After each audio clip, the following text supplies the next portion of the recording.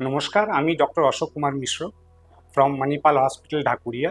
আজকে আমরা কথা বলতে এসেছি অ্যাবাউট দ্য চোকিং হ্যাজার এই যে পুজোতে আমরা যে বাইরে পান্ডাল হপিং করতে যাব রেস্টুরেন্টে যাব, নিজে ফ্যামিলি মেম্বার্সকে নিয়ে যাব, যার মধ্যে বাচ্চারা থাকবেন, আমাদের মা বাবারা থাকবেন, এদের জন্যে এই চোকিংটা হতে পারে খাওয়া দাওয়া করার সময় রেস্টুরেন্টে আমরা কি করতে পারি যখন আমাদের বাচ্চা বা বড়দের চোকিং হবে, ওই ফার্স্ট এড জিনিসটা আমি আপনাকে আজকে প্রসিডিওর হিসাবে দেখাতে চাই প্রিভেনশনটা যে হলো, আমি স্টার্ট করি বাচ্চাদের দিক থেকে, যে আমাদের বাচ্চা এক বছর অবধি যদি বাচ্চা থাকে, ওরা বাড়িতে মারা শুয়ে দুধ খাওয়ান বা এইটা, তো সবসময় এভেন দুধের থেকেও অ্যাসপিরেশন হতে পারে চোকিং হতে পারে।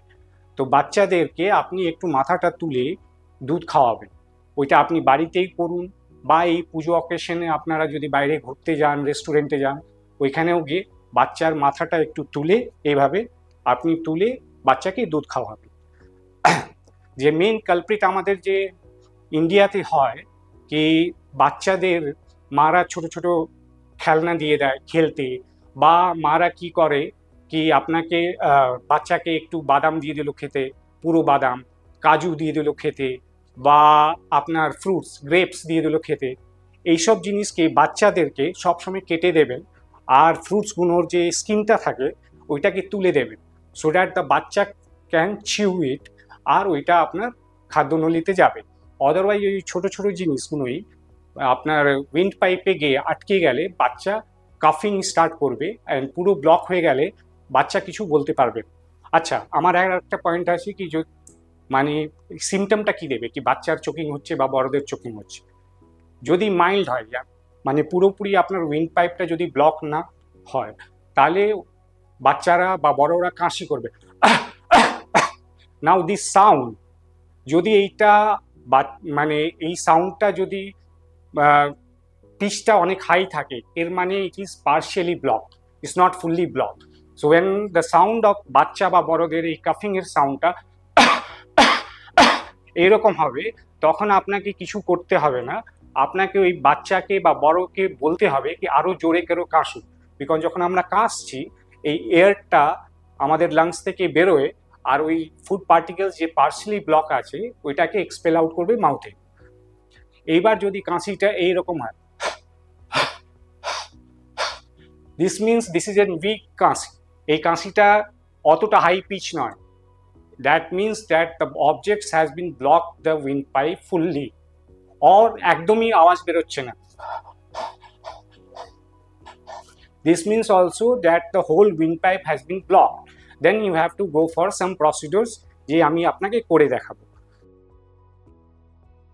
এবার ভাবুন কি বাচ্চার মুখের মধ্যে কোনো বাদাম খেয়ে ফেলেছে।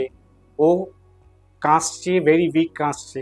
তখন আমরা যে করি, এই বাচ্চাটাকে আমরা থ্রাস্ট দিই সো দ্যাট এই বাচ্চার মুখ থেকেই বেরোবে। তো আমরা কি করব? বাচ্চাটাকে এইভাবে ধরবো, এই সাইডে আপনি দেখছেন হেডটা একটু নিচে দিকে আছে, পাটা উপরের দিকে। এবার এই দুটো যে আমাদের এই যে চেস্টে এই উপর রিজনে আমি বাচ্চাটাকে পাঁচবার এইভাবে ধাক্কা মারব। হাত দিয়ে। এই যে আপনার এ আছে, হাত হাত দিয়ে ধাক্কা মারব। One and two and three and four and five এবার আমি এইভাবে ধরলাম বাচ্চাটাকে, এইভাবে করলাম, আবার করলাম। এবার এখানে চেস্টে সামনে চেস্টে আমরা করব।